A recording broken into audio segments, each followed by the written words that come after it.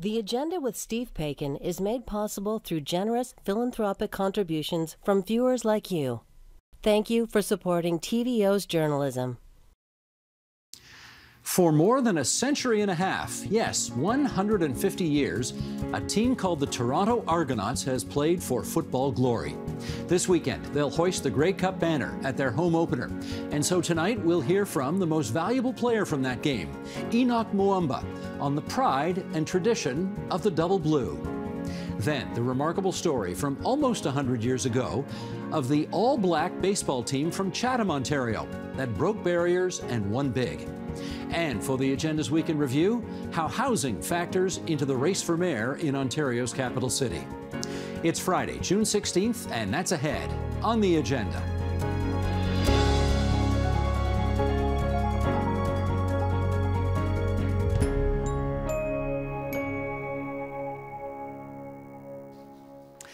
This is going to be an important weekend for the Canadian Football League's Toronto Argonauts. The team will play its home opener on Sunday evening at BMO Field against their arch rival Hamilton Tiger Cats. And equally important, the club will unfurl its 2022 Grey Cup Championship banner, which this Hamiltonian will respectfully applaud from my seat while wearing my Tiger Cat jersey. This season marks a major milestone for the Argos. The team was founded in 1873. That makes them the oldest professional sports team anywhere on this continent still using its original name. The Double Blue are 150 years old this year. Who better to discuss all this than the most valuable player of last year's Grey Cup Championship? Here's linebacker Henoc Muamba, whom we welcome to TVO. It's great to meet you. Great to meet you. Great I've seen you here, play Steve. a lot over the years, but I've never shaken your hand, so I was happy to do that today. I've seen you a lot on TV as well. I'm so glad to be here, Steve. Well, thank you. We are going to start with that enormous thing on your finger. okay, Sheldon, can I get a close up on this, please? This is what you get when you win the Grey Cup, eh? Look at that beautiful thing. Now tell me the story behind that ring. Oh man, there's so many things that are, um, you know, we felt like um, speaks. It tells a story about the season, uh, all the guys in the locker room, and um, it was an amazing year with a lot of ups, some downs as well. But everything is literally on there. Um. okay, let's uh, push your hand down like this so we can feature the front. Okay, there so there's go. the the football with the oars. This is the tribute to the the rowing club, which the Argonauts originally were. That's right. Okay, now one side of it has got what on it? So one side of it right here, you'll see uh, you got the year. Obviously, we did it. We got the you know CN Tower, the skyline of Toronto. Beautiful. And uh, we said, hey. I was on the design committee and said, let's let's let's put in some diamonds in there. So we put some diamonds the, on the CN Tower as uh-huh. well, design committee. We got some stars here that symbolize the amount of wins we had in Toronto as well. Uh, and then on the other side, what we decided to do was uh, we have each player's name, their number, and we have the BMO field over there with all the banners oh, of all the that. championships that we've won over the years. And uh, it's been amazing and uh, inside, we have a quote and a saying that we've been talking about, you know, throughout the season. Uh, it basically says, uh, three-strand cord is not easily broken. And we have one that wraps all the way around. It's pretty unique, as well as the final score, 24-23, against the Winnipeg Blue Bombers. So uh, a lot to talk about on there. And uh, like I said, it, it tells the story of the season last year. I know it's priceless, but how much is it actually if you wanted to buy it? priceless. I don't know if I don't know if I'd ever put it on the market. I don't know if anyone in the locker room would. well, can I show you, or let me put it this way, can I remind you of what I suspect was the most memorable play of your entire life? Remind me. Here we go. Sheldon, if you would, clip please, last year's Grey Cup game.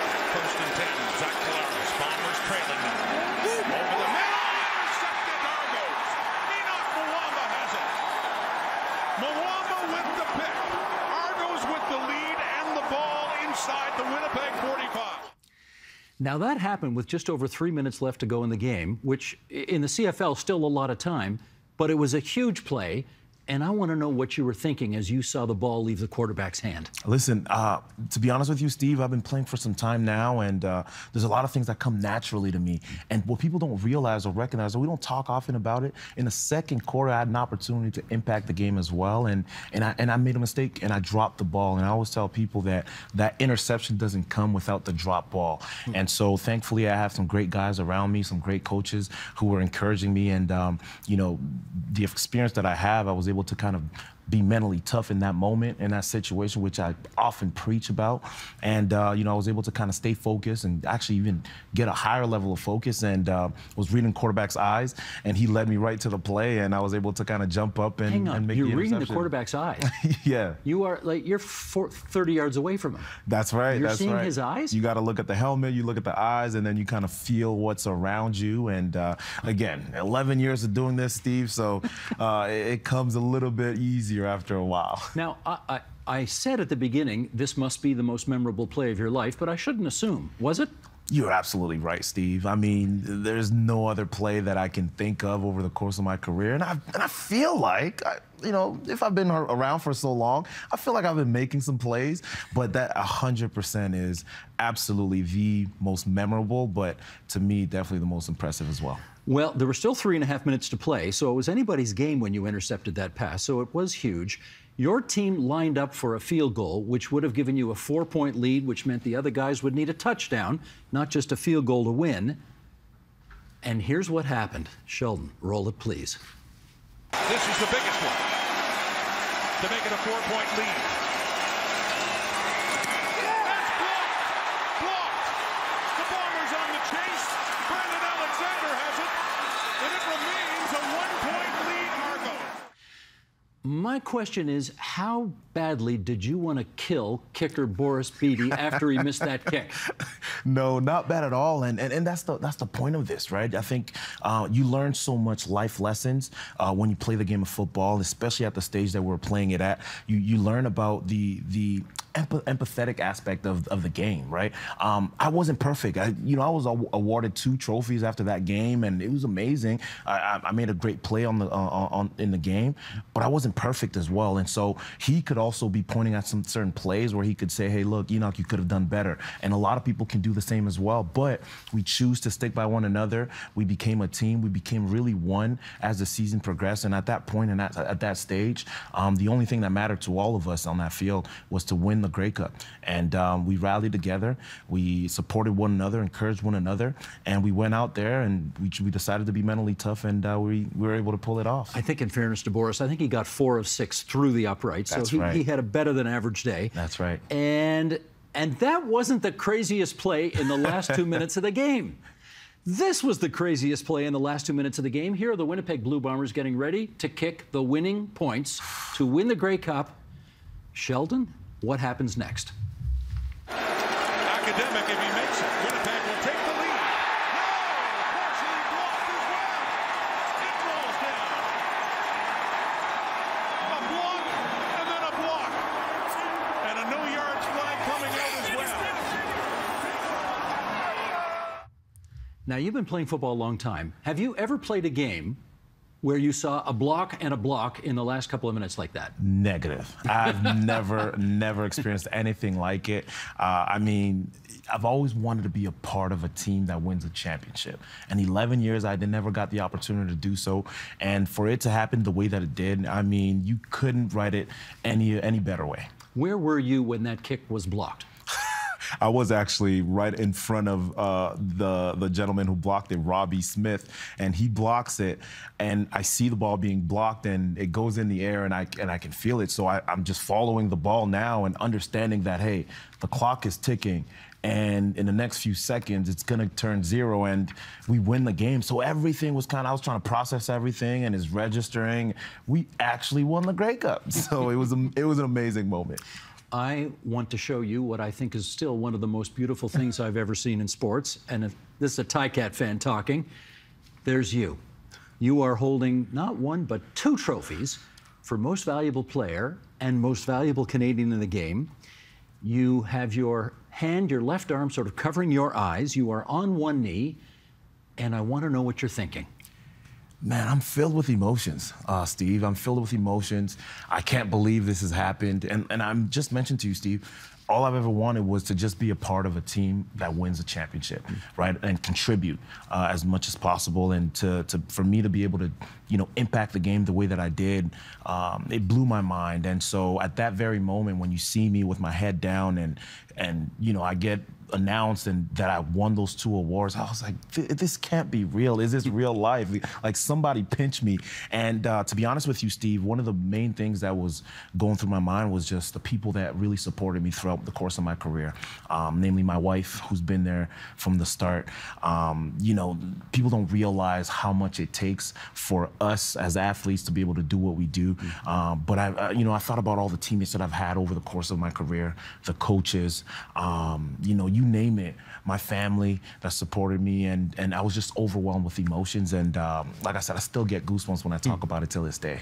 We should let people know who aren't big football fans that at, at a Grey Cup game, they not only give out a trophy for the most valuable player, but because that player is almost always an American, they also give out a trophy for the best Canadian on That's the field. Right. Do you know you and you won them both? That's right. Do you know how many times that's happened in Grey Cup just, history? Just one time before that. Isn't that amazing? Yeah, You're just the second player to have done that. I'm humble. In 109 years. Extremely humbled and uh, honored. You did mention Henoc that you have waited a long time for this championship. And I want, can I do a little pop quiz with you here? Oh, let me hear it. You've played on a lot of different teams. Yep. Can you name every team you've played for? I definitely can. All right, let's start it. So I got drafted by the Winnipeg Blue Bombers in 2011. Played there for three years. Uh, it was in Winnipeg. Then I went to the NFL. I played for Indianapolis for a couple and came back for about a few months in Montreal. Then I went back to the NFL. I played for the Dallas Cowboys. Came back to Canada and I was in Saskatchewan, Montreal, and finally came home to the Toronto Argonauts. Uh, that very good. Yes, you got all. you got did I get right. it right? You did. I was following along. You did get it all right.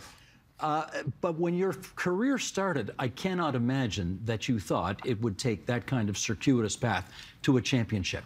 So why did you not, frankly, why did you not give up? Man, that's such an amazing question, Steve. But um, so I learned and I grew so much over the course of my career. And um, one of the things that I always wanted to do was challenge myself to become better. And uh, being drafted in the CFL in 2011, I was drafted first overall. And all of my coaches, I mean, there's, there's, there's a decent amount of pressure that comes with that from the coaches, the trainers, I mean, the uh, your teammates, and the media. And so I, I wanted to live up to, to, to the expectations and also really exceed them. And so um, with that, I always wanted to better myself on a weekend in and day in, and as well as really year in basis. And uh, the coaches, you know, really saw things in me that even at the time I never really saw. And so I wanted to make them, you know, right with what they were seeing inside of me. And so I continued to push myself. And uh, uh, one of the things, there were ups and downs in the course, over the course of my career, but what kept me going were the people that were around me. I often talk about, you know, your your potential is connected with the company that you keep. Mm. And so I'm very uh, cautious with who I keep around me. And so the people that were around me really have been supportive, uh, encouraging. I talked about my wife, but I have amazing friends and family members that supported and encouraged me all the way through. And, um, you know, I started with the, with the end in mind hmm. and with the great mentors that I had, I set myself up with a purpose and uh, I kept going. And I often say, uh, the purpose that you want to set for yourself, Steve, has to be greater than yourself, right? Um, if you set purpose, a purpose that is just about you, you might go a certain distance or somewhere, but when you have a purpose that's greater than yourself and you're thinking about you want to do something that's for somebody else, which is what we did last year. Mm-hmm. I, I played a game that I just we just talked about 11 years and I wanted to win for sure, mm-hmm. but there were multiple guys on my team that I really wanted to win it for, and I feel like that helped me. That's so interesting because I remember doing an on-field interview with Pinball Clemens after the Argonauts won the Grey Cup. You may have to help me with the year here. It was in Ottawa, maybe 2004, something like that. And and Pinball said, you need to have a team where the guys want to win it as much or more for the guy who sits beside them in the locker room or plays beside them on the line as they do for themselves. How hard is it to get there? Because come on, let's let's face it. When you play this game, the tendency is to want to blame somebody else if you get scored on or if something screws up. Absolutely, absolutely. And and to me, really, Steve, football is is a direct representation of what life really is, right? The people that are around us, it's easy to point the finger at the people that are around us. It's very easy to do so. But when you are a part of a team that really gets together and that becomes a family like we did last year, um, you, you, you feel the same pain of the person that's next to you. And so uh, when you do have that that same purpose and same mindset in mind, um, you you grow faster. And that th- there's a famous African saying, right? A proverb that talks about if you want to go far, go uh, fast, go alone. But if you want to go far, go together. Right. And that's what we did. We, we we tagged on and we rallied together and were able to go the distance. Well, since you mentioned Africa, let's talk a bit about your background because you're unlike, I think, any other CFL player I've ever encountered. Where are you born? Born in the Congo, in the heart of Africa. And when did you come to grow up in Mississauga, Ontario, Canada? Man, it's, I was super young uh, when we left. My parents and I have two uh, two brothers. I'm the second of three boys, and my amazing, loving parents, uh, you know, decided to take a leap of faith and uh, start afresh and start anew. And so we moved to Canada. And people always often forget that we lived in Montreal first before we settled in Ontario. And uh, you know, we speak French. My first language was French. And so we lived in Montreal, spent some time there, and then finally settled into Mississauga after, you know, a few stops in between. And, uh, you know, Mississauga really was the city that raised me. How did you get hooked on football? Really, I, I want to say random. But you know, I, I, talk often about the people that are around me, and, and those are the people that I trusted, that I loved, um, that I leaned on, and they kind of suggested it to me. Really, I was in high school, um, really late for the people in, at my level, mm-hmm. uh, but you know, they suggested it to me. I, I loved basketball, played basketball. I thought I was going to be in the NBA, Steve, mm. and so until God, you know, vertically challenged me, of course. What, you're like six one, just six feet flat, six flat. Okay. And uh, so, uh, you know, in grade ten, I, I was a decent basketball player, Steve. I was decent. and uh, in grade 10, my coaches said, hey, Henoc, you should try football. You should really try it. And uh, I said, football? One, I didn't understand the game. I didn't understand the rules. And I didn't want anything to do with the contact because I wanted to play basketball. and if you know anything about football, uh, basketball, Steve, uh, they don't hit as much as football. They're a little soft. Let's be real. I don't want any basketball guys or, or, or, or ladies to come after me, but uh, it's a different mindset on the basketball court. And so I didn't want to be on the football field, but I took the leap of faith, and um, the rest is history. You are 34 years old. That's right. Which is, you don't mind my putting it this way, that's old for a football player to still be playing. It's ancient how are like how are your knees? How are your shoulders? How is everything? It's a good question. I mean last uh, you know number of years you always got to just take care of your body. Take care of uh, you know you talk about your knees your shoulders and all of that. You want to take care of it as uh, as time goes on and um, the more you commit you know I, I spend a little bit more time than the younger guys that are in the locker room after practices to just you know take care of the body whether it's ice tubs and and rehab and you know massages chiros and all of that. I try to do as much as i can it's working. You look great. Thank you, you look so great. much, Steve. You played uh, university football at St. FX That's right. in the Maritimes. I think you are the all-time tackles leader in St. FX history. That's right. Still. That's right. So again, it goes back to how, because I worry about you when I watch you play. I'm thinking, here's a guy who's 30. I don't know how many concussions you've had. how many have you had? The one that was mild. Okay. Well, there's no such thing as a mild concussion. Well, I was tested the following day and I was clear to play. Okay. But anyway, it's just I mean you you you punish yourself so much when you play this game. And you almost retired in the off season, didn't you? That's right. I had to think about it. So why'd you decide to come back? Man, I, I still love the game. Uh, I love the game, but I love the guys that are around us, uh, around me, and uh, I love the culture that we're building in the locker room. And uh, to be able to be a part of a team that does it back to back, um, doing it one time is special, hmm. but twice is something out of this world. Hmm. At BMO Field on Sunday night, mm. when they have the ceremony, and the Grey Cup banner gets unfurled before the game starts,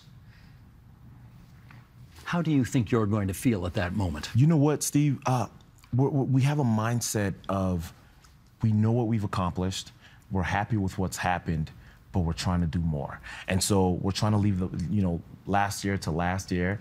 And this is going to be kind of our, hey, we acknowledge what we've done, but now it's on to bigger and better things. And so we're on a quest for another one. Hmm. I get that, but you're not going to allow yourself the luxury of sort of looking back and thinking, Man, that was fabulous last year.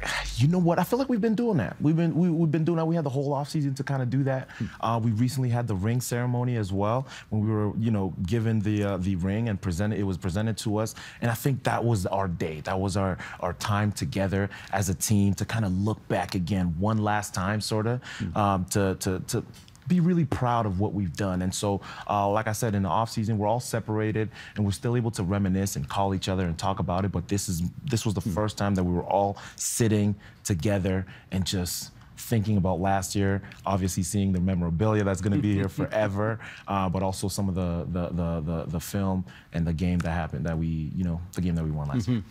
You've got a lot of American teammates, obviously, Absolutely. who, when they go to uh, a U.S. college program, they do not dream of emerging from that program to play for the Toronto Argonauts. In fact, the fact is, they probably most of them have never heard of the Toronto Argonauts.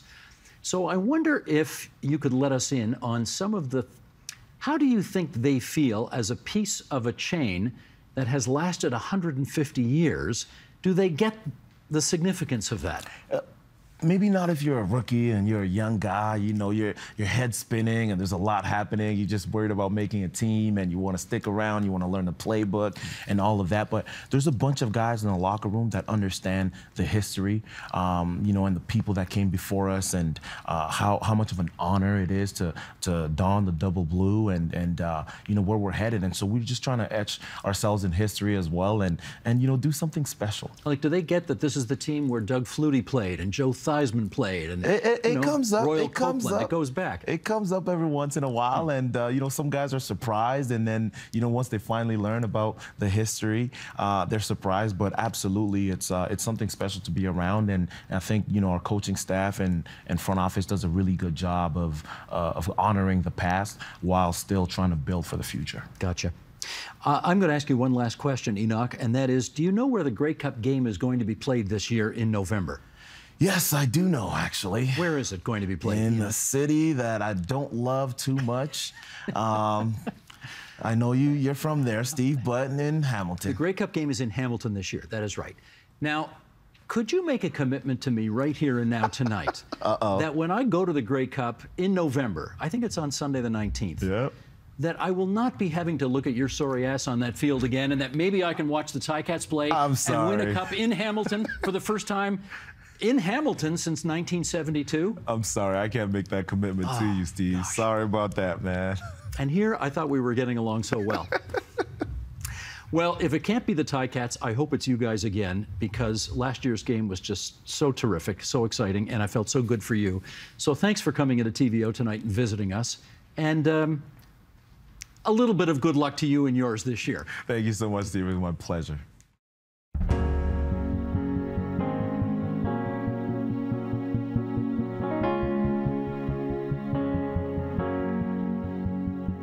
In the depths of the Depression nearly 100 years ago, a remarkable thing happened in Chatham, Ontario.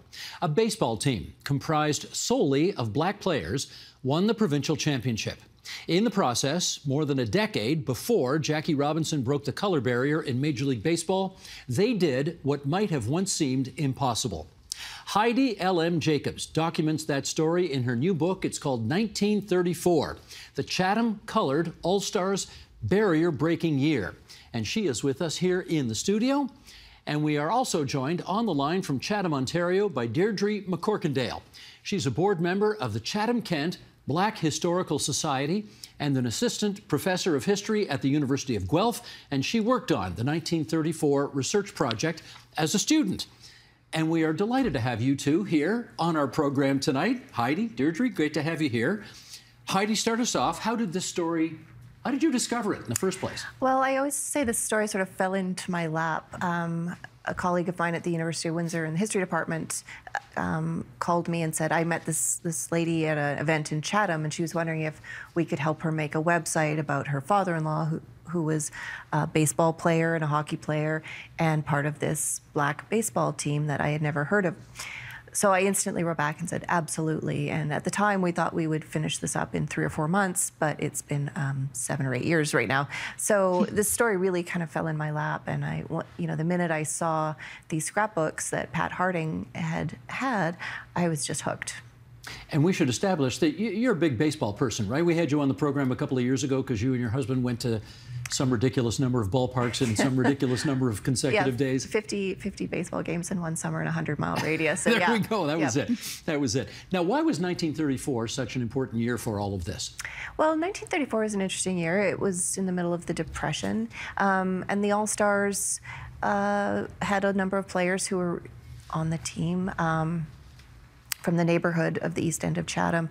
So the players always say we had a lot of st- spare time because there wasn't a lot of work to be had. So the team had a big momentum, I think, partially because of the economic climate, but also because the the team played in the center of the community in the east end of Chatham at a place called Sterling Park, which was a social and cultural center of the community, and all the neighborhood would come out in the evenings to watch the team. But um, and Sterling and Park was named after Archie Sterling, who was a local businessman in the neighborhood and white uh, guy. a white man. Yep, and he was a future mayor of of Chatham too. There we go. Well, let's talk Chatham. Deirdre, maybe you can help us with um, some of the demographics of Chatham, the population, the black population of Chatham, uh, nearly 100 years ago from this time that we're talking about?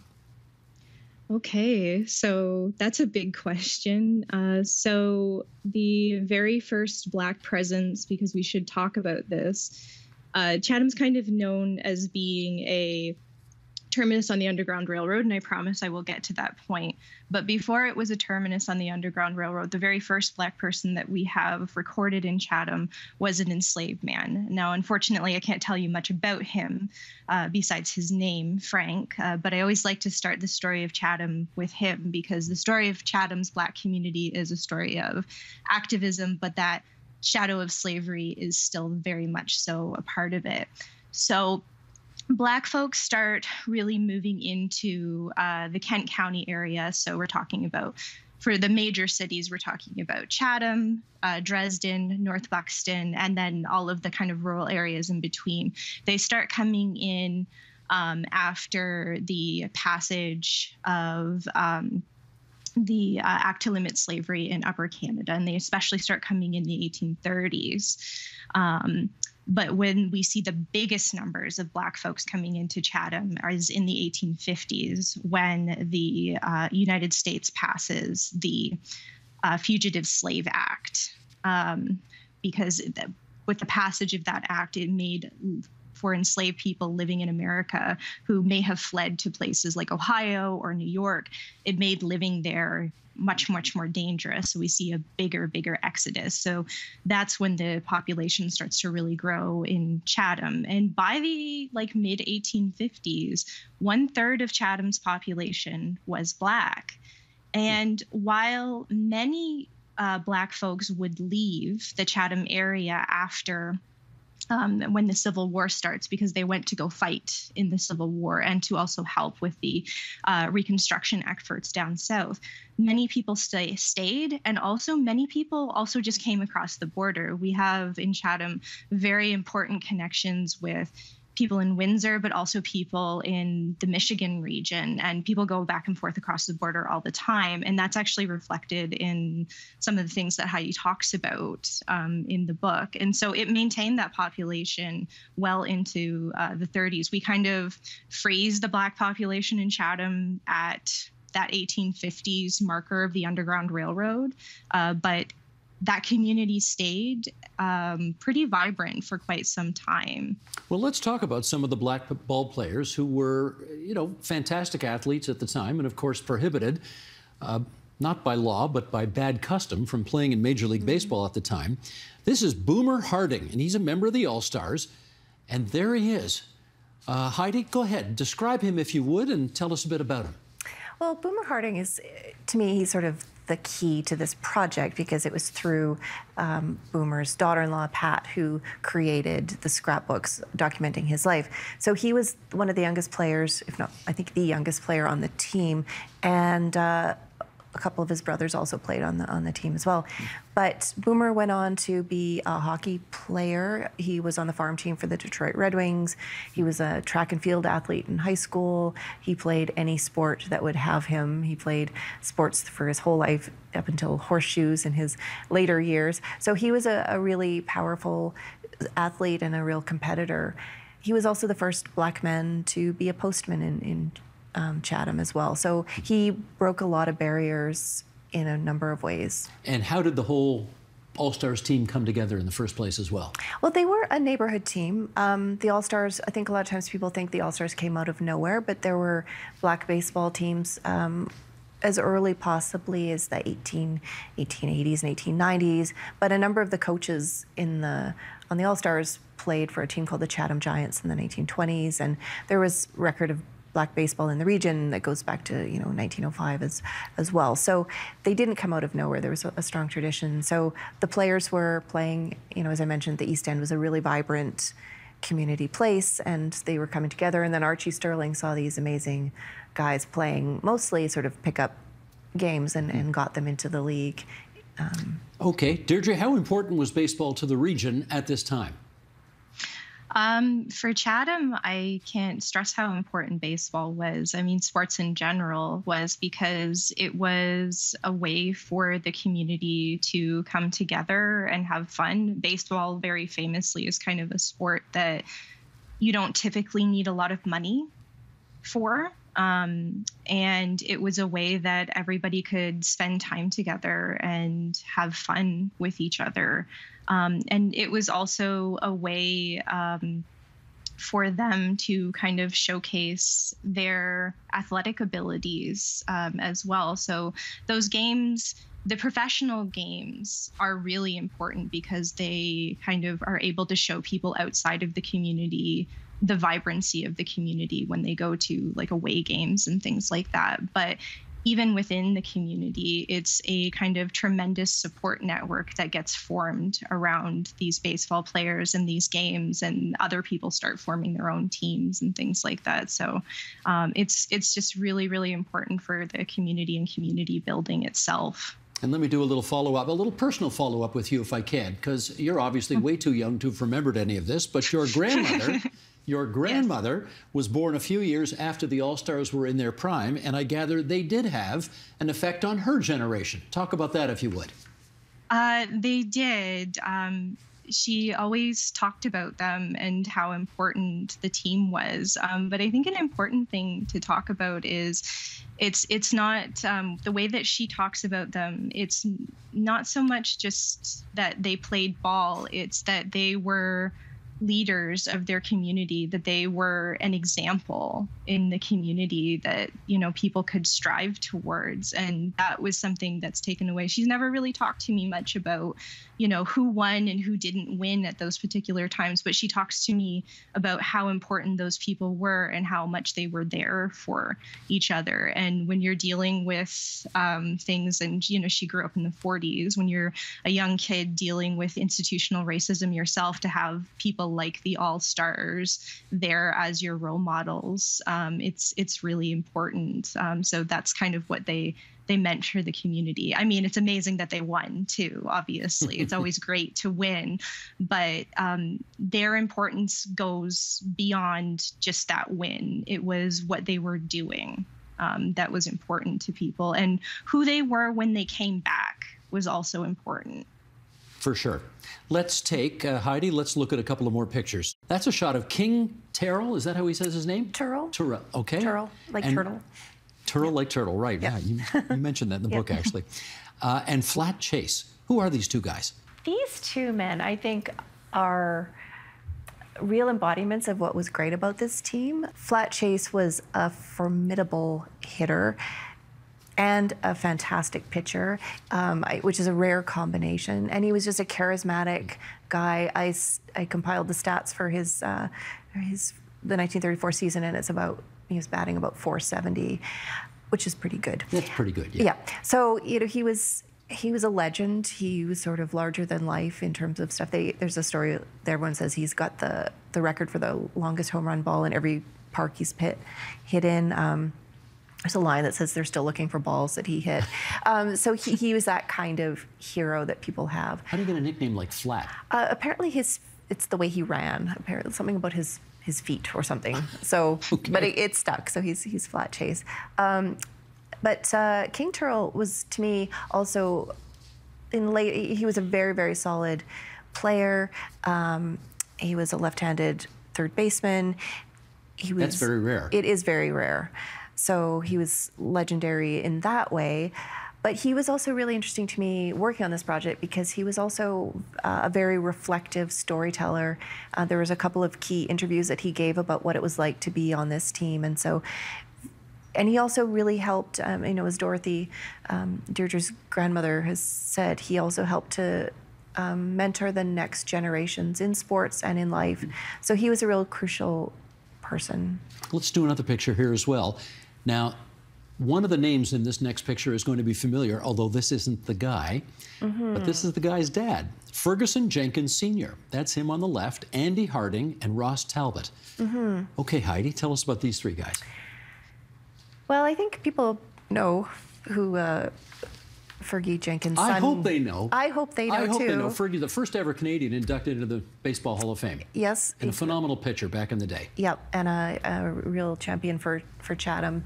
Um, so yeah, he's he's legendary, but he's also a, a strong member of this team and played throughout them. Um, Andy Harding was uh, one of the Harding brothers as well, and Ross Talbot was an interesting man too. He uh, was a businessman and a ball player, and uh, just one of the. I, I think one of the solid players who contributed to the team overall. Ferguson Jr. obviously got his talent from Fergie Sr. It sure seems that way, doesn't Sure it? does. Yep. Says something about nature versus nurture. Yep. Okay, Deirdre, they were called the Chatham Colored All Stars. Tell us why you think they were marketed in those kinds of racialized terms.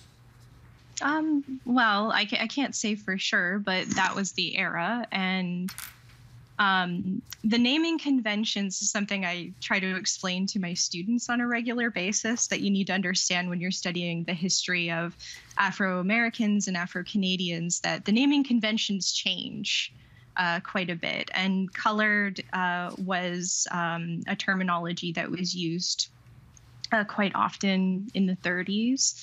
Um, in fact, um, depending on which circle you'd look at, um, up until about the 1960s or 70s, to call somebody black would have been insulting to some black folks. Um, it's really with kind of the rise of black power and a lot of those kind of conventions that we see those kind of tides changing. But color, colored seems very kind of dated, antiquated, and also insulting, almost like a slur to maybe us now.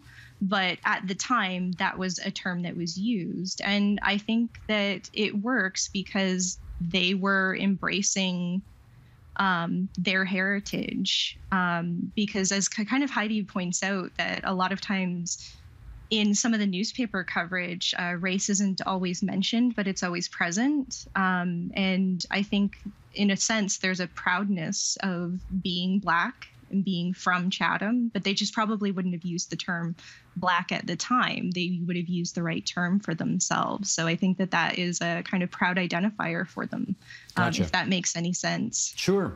Here's uh, how Heidi describes it in the book. Baseball offered the men of color who played on the All Stars the rare opportunity to exist on the same literal and metaphoric playing field as white men in a space where the rules were the same for both races.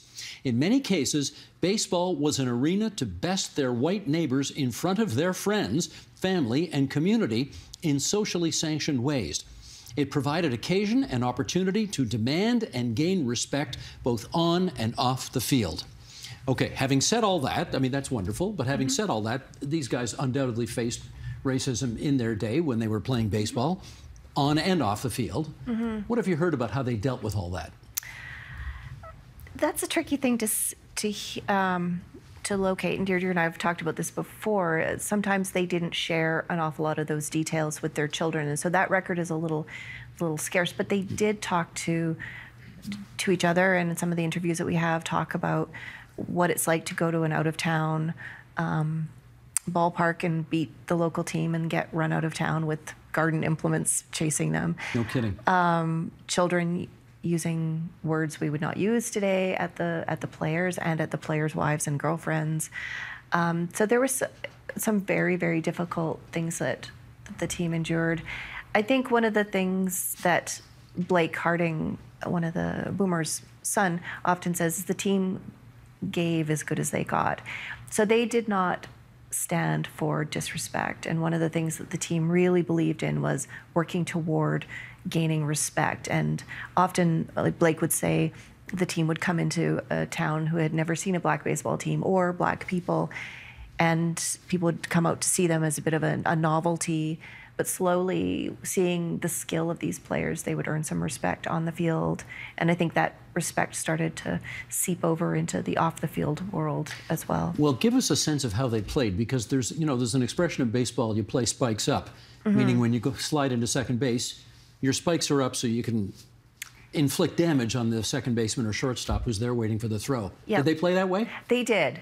I mm-hmm. think, and you know, it's hard to piece together the record because obviously we don't have, you know, footage of this. But mm. it, it seems that they they often got taken to task for being a bit too rough on the field. But there's enough evidence um, to suggest that one of the things that has happened is when they were being racially targeted or when things were not fair, they stood up for themselves. And so that the, the, the roughness often has some sort of precursor that we don't know about, but there's enough hints to suggest that they were reacting to something. Sure.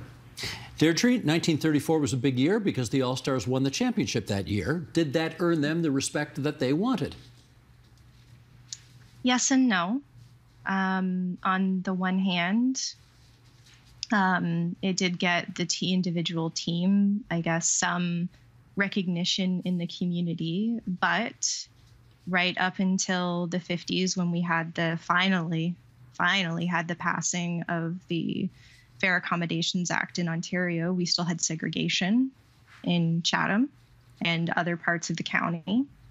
Um, and many Black folks also still had a hard time uh, gaining employment. Uh, Heidi has a, I think, very important part of the book where, um, you know, there was a, there was a, I believe it was a banquet that was was uh, provided for the All Stars, and one of the players said, "Okay, so give us a chance now.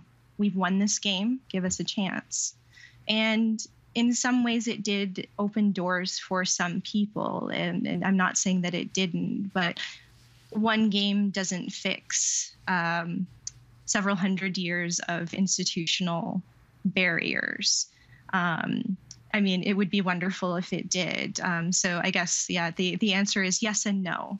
Right. Well, actually, let me follow up with you on that, Heidi, because it is it is a tradition in baseball that when your career is over as a player, Many of them get jobs as managers or general managers or coaches or scouts or, mm-hmm. you know, all sorts of things.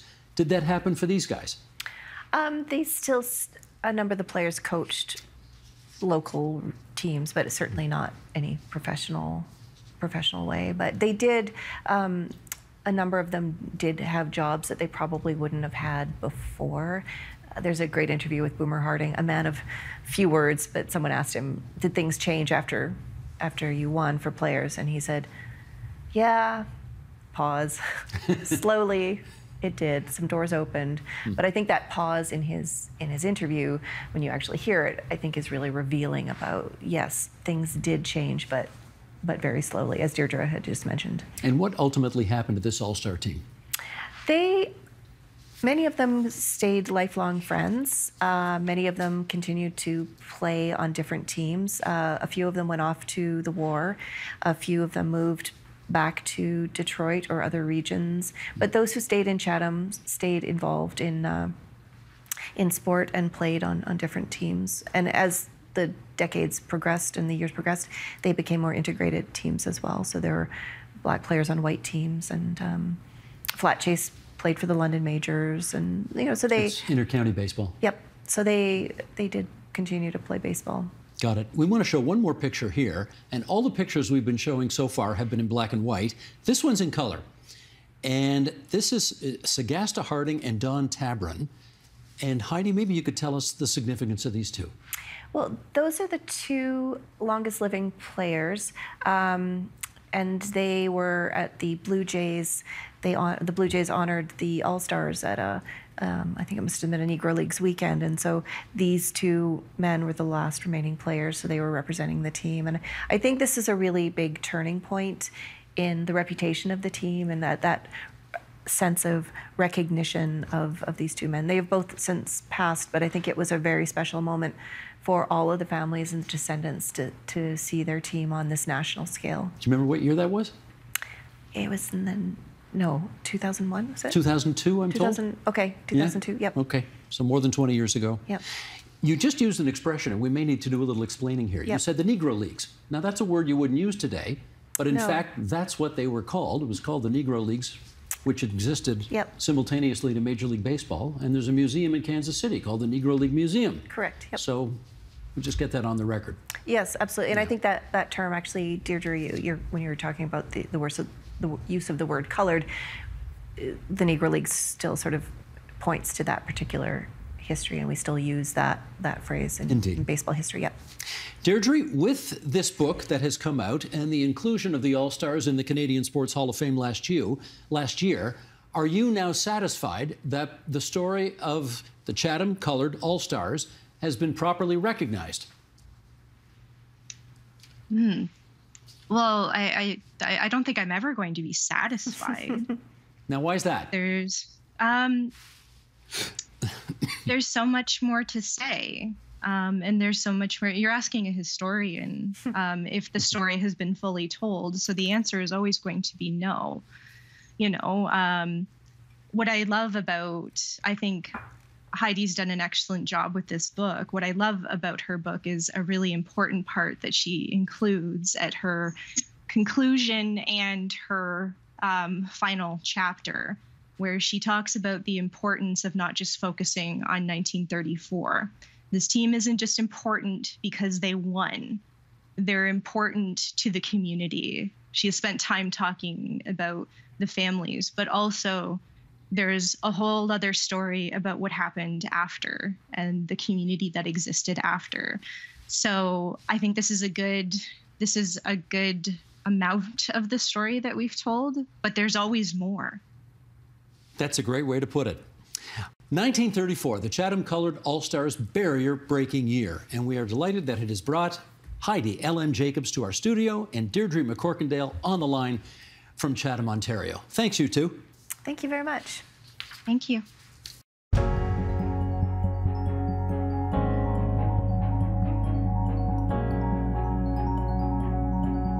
The agenda this week assessed the housing platforms of the leading candidates for Mayor of Toronto and heard from some less often profiled candidates about how they do the job.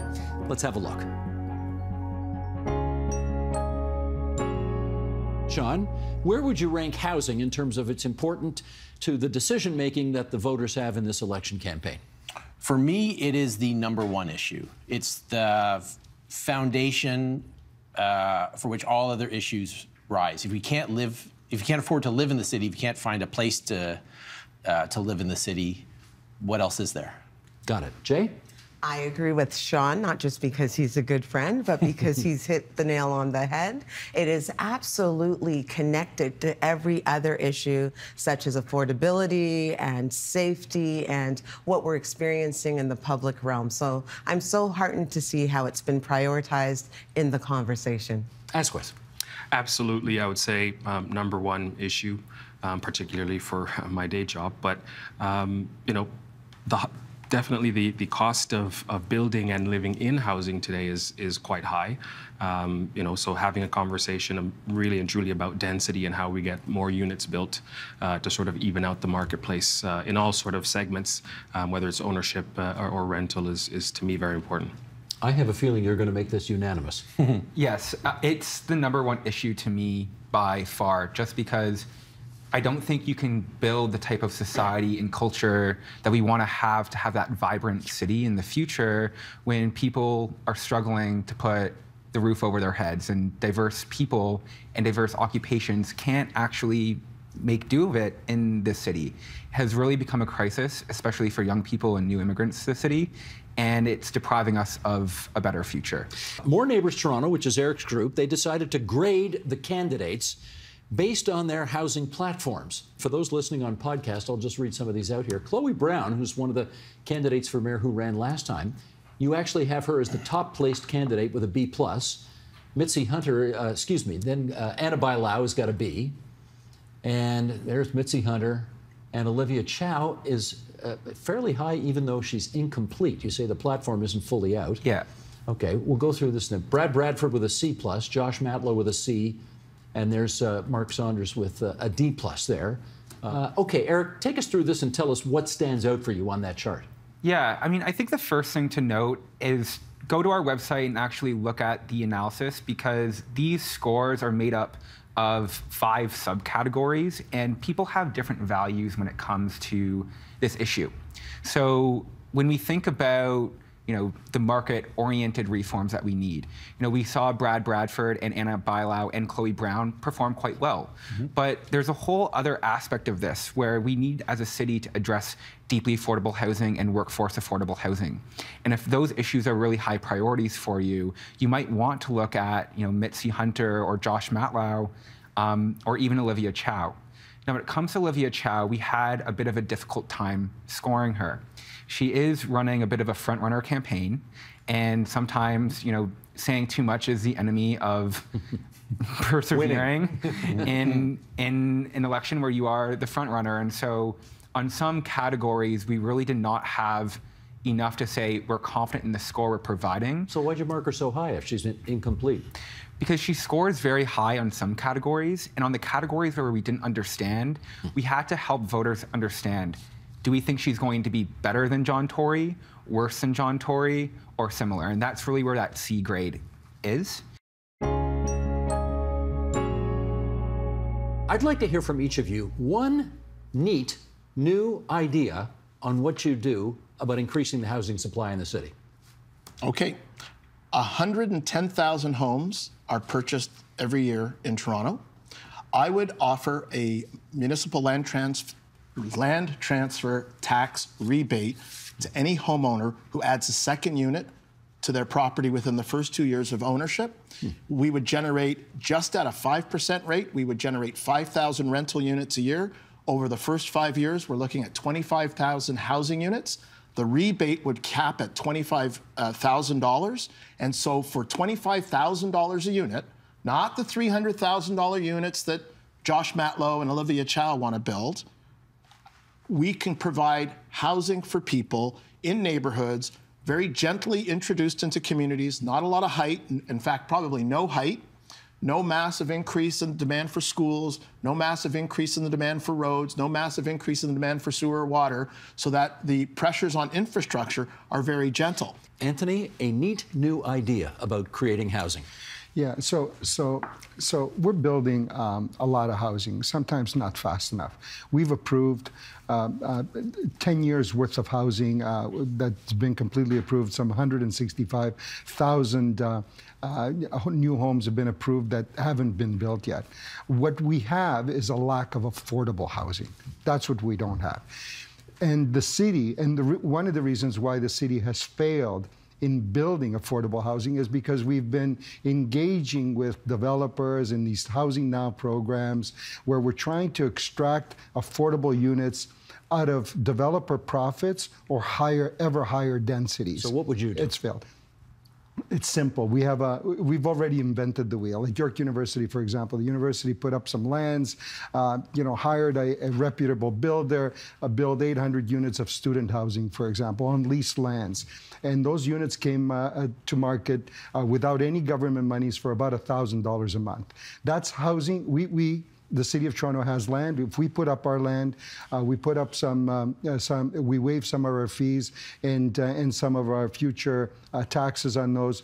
We could build a similar type of housing on our land um, that would be um, uh, could be adopted for shelter, for transitional housing, for seniors, and for families. It could be modified uh, very simply. Could come out to market very quickly, and you could bring it to market for less than thousand dollars a month. It just we just need the will. It's easy to do. We have examples. The wheel's been invented. We don't need to reinvent that wheel. We just need to sort of you know focus in on it and do it. It's as simple as that. Okay, Chloe, you did mention some things earlier in your previous answer. You want to build on that? So I want want to bring down the cost of building housing to $60,000 per door. And that's really where the main, the main issue is when it comes to housing. It's you need to set a metric for what affordability is, and it's less than 33% of your income. So making sure that the builders are getting access to the technology that helps them build faster, making sure that permits are approved faster so they can actually get to work to building and making sure construction workers are supported. I feel like construction workers have been really like um, omitted from conversations and there's an opioid crisis on work sites. We need to support construction workers with better occupational health and safety tools and that means investing in technology to build faster. So we have modular in the city 3d printing. There's so many different technologies that places like dubai china the netherlands are employing to deliver projects in less than a year. We need to empower our whole industry to use better technology to rapidly develop for us. Why do you think we're not yet? okay. Um, this is where there's a generational divide in the use of tools. There's this belief that AI is going to replace workers, and AI is only as good as the workforce that builds it. And this is why I'm focused on the working class and helping the workforce like secure better living conditions because if workers are not fed, if they're not properly housed, how can you set these targets and expect them to be done? Implementation is the city's biggest problem because they exclude workers from decision making. It's a lot of executive opinion, and they're not the ones on the ground. And that is just some of what we covered this week. You can find more, including the full conversations, on our website, tvo.org, or our YouTube channel at youtube.com slash the agenda, or our Twitter feed, that's twitter.com slash the agenda. And that's all for this Friday, June 16th, 2023. Monday, we'll find out why some tenants are on what's called a rent strike and get some perspective on whether such actions work. I'm Steve Paikin. Thanks for watching TVO, for joining us online at TVO.org. Have a great weekend, everyone, and we'll see you again here on Monday. The Agenda with Steve Paikin is made possible through generous philanthropic contributions from viewers like you. Thank you for supporting TVO's journalism.